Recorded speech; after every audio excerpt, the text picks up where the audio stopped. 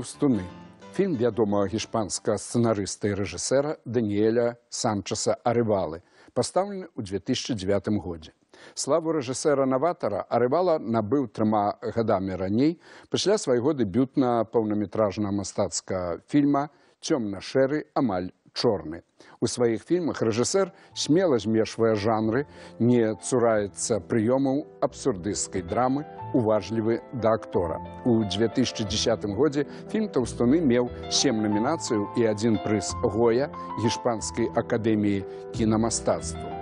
Яго атрымаў актор Рауль Арывала як найлепшы выканаўца ролі другога пляну.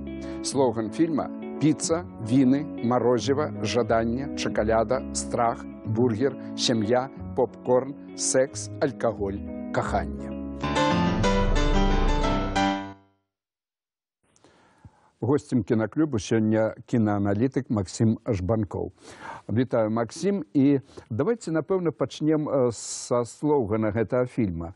Секс, сям'я, піца, віны, страх. Что это за словы знакавыя для нашага часа? Что это за набор увогуле таких вось паняткаў у іх радасці ці трывогі ўжо 21 стагоддзя? Ну напэўна трэба пачаць з таго што слоган да стужкі ён заўсёды мае такі правакатыўны характар. І мусіць захвоціць гледача мусіць пазначыць нейкія істотныя рысы таго што будзе ну натуральна ён заўсёды трошкі хлусіць таму гэта такая як кажуць заманушка гэта такая форма такога пэўна сэнсе правакацыі гледача а, але ж я думаю што гэта ўсё вельмі добрыя словы. Хто супраць піцы хто супраць вінчыку прабачце гэта все абсалютна нармальная рэч мне падаецца што гэта пазначэнне розных вымярэнняў і розных градусаў так бы мовіць радасці жыцця то бок гэта вельмі пазітыўны слоган і вельмі істотны фільм называется таўстуны і такім чынам як бы адразу пазначаецца як і ў слогане так і тут пазначаецца ў нейкай ступені праблема ці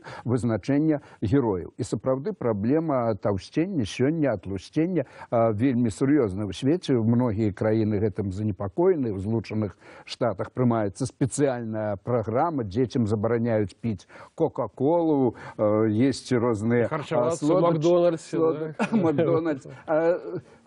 Якім чынам гэта праблема можа цікавіць мастацтва? Мне падаецца, што гэта не пытанне вагі, гэта не пытанне хваробаў, так бы мовіць. Ну, між іншым, ментальныя хваробы таксама могуць паставаць для вельмі якасных мастацкіх твораў. Але мне падаецца, што гэта у дадзеным выпадку гэта вельмі слушная і вельмі дакладная метафора унутранай незадаволенасці чалавека сваім існаваннем. Людзі самі робяць са сваёй звышвагі пэўную праблему. Я не кажу пра медычныя вымярэнні, калі папросту чалавеку кепска ад гэтыя звышвагі.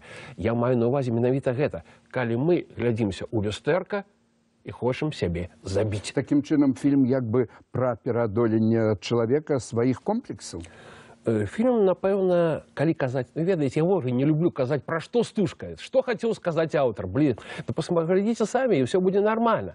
Вось, я думаю пра іншае. Гэта хутчэй, як я разумею, гэта стужка пра разнастайныя фарматы нязгоды з тым, што мы маем пра разнастайныя спробы перадолевання інерцыі ўласнага існавання. А гэта дарэчы вельмі сур'ёзная тэма бо самае страшнае што мы можам зрабіць са сваім жыццём гэта плыць па інерцыі а тут заўсёды мы ўсіх герояў гэтай стужцы бачым у пэўны момант такой перазагрузкі у момант як бы такога спробы іншага у пэўны момант крытычнага як бы існавання і гэта вельмі цікава бо яны у прынцыпе збольшага ўсе вельмі звычайныя але яны трапляюць у сітуацыю якая інтрыгуе і нават калі гэты герой нам не надта сімпатычныя заўсёды паўстае пытанне А ці дадуць яны сабе рады ці здолеюць яны штосьці зрабіць са сваёй недасканаласцю якім чынам у прынцыпе каталіцкай краіне гішпаніі з вельмі такімі э,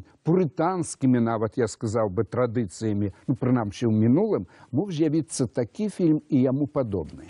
Вось гэта вельмі цікавая рэч бо фактычна сапраўды вось ну, прынамсі две найноўшыя генерацыі э, гішпанскіх кінамайстроў яны існуюць у сітуацыі вельмі дзіўнай якая была бы немагчымая напэўна яшчэ гадоў 20 таму. То бок я абсалютна упэўны што дзесьці ў 75 ці 76 э, у часы дыктатуры франка вось такая стужка была бы папросту немагчымая нават на ўзроўні папросту сцэнарнай прапановы. Што адбылося потым? Калі ляснуўся э, рэжым франка? Паўстала вельмі цікавая на пачатку 80-х такая культурніцкая рэвалюцыя культурніцкі выбух які зваўся ламавіда гэта была перадусім то фактычная движуха як кажуць так? Гэта быў перадусім э, мадрыдскі праект. Гэта была такая вельмі актыўная гіперактыўная багемная суполка дзе ўсе адначасова рабілі ўсё. Вось як той педра альмадор які на пачатку кар'еры э, пісаў калонкі ў скандальныя выданні рабіў э, амаль порнографічныя фотокоміксы э, працаваў як вакаліст трансвестыт у поп э, суполцы альмадовар і макнамара э, дзе выходзіў на сцэну у абцасах і моцна нафарбаваны і гэтак далей а да таго ён яшчэ і рабіў кіно то бок усе рабілі ўсё вось гэтая формула вось вы кажаце пра слоганы. Так там было ўсё адразу там быў і секс там былі не ведаю як на кондраксу але рок-н-рол быў дакладна там была разнастайная вось гэтая гульня э, з бульварнымі фарматамі культурніцкімі і гэта ўсё ў суме я да чаго кажу вельмі моцна пашырыла па-першае поле магчымасцяў аўтараў калі раптам у пост дыктатурнай краіне зрабілася магчыма казаць пра тое што было э, раней забаронена. Мастацтва развівалася разам з грамадствам ці ўсё ж мастацтва правакавала грамадства на змены. А, а гэта, Перадусім а гэта было адначасова. Бо глядзіце новая сацыяльная сітуацыя яна параджала нараджала новых аўтараў. А з другога боку новыя аўтары яны выкладалі новыя вымярэнні свабоды для грамадства. Гэта быў такі вельмі моцны вельмі эфектыўны тандем і вось у новай гешпаніі фактычна пачало адбудоўвацца зусім іншае кіно бо калі паглядзець на тое што было напрыклад у 60-х 70-х Гішпанскае кіно яно збольшага было вельмі такім зачыненым. Гэта было кіно пад ціскам. Яно было вымушанае прамаўляць не наўпрост. На мове не ведаю гратэску, на мове некай такіх алюзіяў, на, на мове вельмі складаных метафораў, якія, дарэчы, самі аўтары час ад часу не былі здольныя прачытаць і што там ужо казаць пра гледача, то бы гэта было кіно пад прэсінгам, кіно патаемных сэнсаў і невідавочных вырашэнняў. Але Максім э, сюррэалізм у кінематографе па сутнасці ў Гішпаніі нарадзіўся узгадаем андалузская сабаку. Менавіта так. І вось я лічу, што насамрэч андалузскі сабака мог паўстаць толькі ў Гішпаніі. У сітуацыі такой зачыненай культуры, у сітуацыі вельмі моцнага такога э, як бы кантролю над супольнай свядомасцю каталіцкай царквы, у сітуацыі палітычнай невідавочнасці, у сітуацыі пэўнай інацыйнасці сацыяльнага руху. І вось сюралізм ён заўсёды паўстае менавіта праз пэўная здольнасць ператварыць менавіта недасканаласць свайго культурніцкага асяроддзя сацыяльнага існавання некага жыццёва шляху у сістэму візуальных образаў. У нейкія э, не скажу патрыялагічныя але невідавочныя э, э, такія шокавыя атракцыёны. Бо сапраўдны сюралізм гэта заўсёды ведаеце такі шокавы рок-н-рол на э, э, э, на рэштках відавочнай культуры Але ў гэтым фільме, як мне падаецца, калі гаварыць вашымі словамі, шокавы атракцыён, перадусім сексуальныя, эратычныя сцэны, вельмі шчырыя, адкрытыя, А вас яны з'яўляюцца... шакавалі? А вас не? а мяне не Якую нагрузку яны тут нясуць? Бо я думаю, што гэта абсалютна нармальна. Гэта якраз шэрагу тых самых забароненых сюжэтаў, забароненых вобразаў і гэтак далей, якія разабіліся магчыма, як я казаў дзесьці ў сярэдні 80-х. Вот дзеля новага гішпанскага кіно тое, што дарэчы нашаму трошкі таксама скажем шчыра інерцыйнаму як бы, э, як бы погляду на рэчы падаецца чымсьці незвычайным, яно абсалютна нармальна. Слухайце, э, э, паўднёвая нацыя, нацыя жарсцяў, нацыя кахання, прабачце, нацыя відавочных, вельмі моцных такіх вось як бы сутыкненняў разнастайных як бы э, м, м, перажыванняў рэчаіснасцю згадаем кармен славутую прабачце гэта таксама гішпанія праўда? Вось гэта ўсё натуральна для ментальнасці нацыі але гэта ўсё доўгі час было забароненым для легальнага гішпанскага кіно.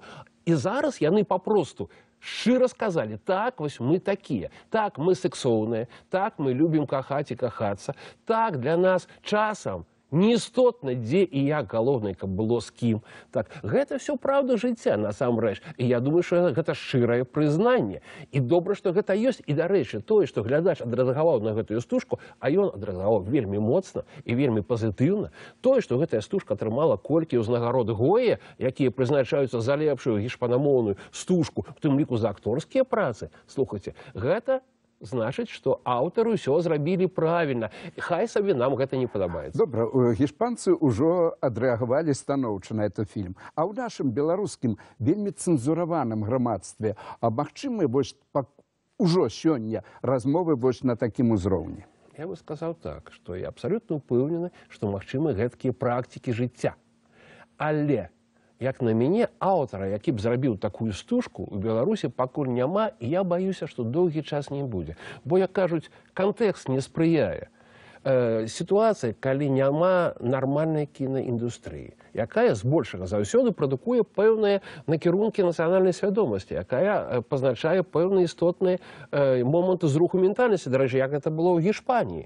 Э, у сітуацыі, калі ў нас няма э, нармальнай новай генерацыі дзёрзкіх аўтараў, Вось такіх ведаеце нонканфармістаў, якія свой час з'явіліся падчас мавіды гішпанскай. Вось калі гэтага ўсё няма, калі няма каму казаць, калі фактычна часам здаецца, што няма да каго звяртацца, бо аўдыторыя нашая збольшага таксама дагэтуль гадуецца расійскай камерцыйнай э, кінавытворчасцю, галівудскай прадукцыі і еўрапейскім артхаузам, чым заўгодна, акрамя лакальнай прадукцыі. У той сітуацыі, калі фактычна крэдыт даверу да нацыянальнага кіно ніжэй за зэра, Вось гэта ўсё сур'ёзная праблема і каб адбылося штосьці іншае. Нам, я баюся казаць патасна, э, напэўна, патрэбна трошкі іншая краіна з трошкі іншым полем свабоды і трошкі іншай як бы магчымасцю развіцця э, крэатыву у тым ліку і кінематаграфічнага. Я, я скажу так, што патрэбныя зрухі і тады справа пойдзе і тады прыйдзе новы глядач тады з'явяцца новыя аўтары і натуральна для нас зробяцца дасягальнымі вось тыя самыя старыя новыя тэмы тыя самыя забароненыя сюжэты нашай штодзённасці пра якія даўно не баіцца казаць гішпанскае кіно Максім, а які вы прыдумалі б слоган да этого фільма? а вельмі просты шчасце важыць Шчасце важыць, шаноўнае спадарства, глядзім фільм Таўстуны.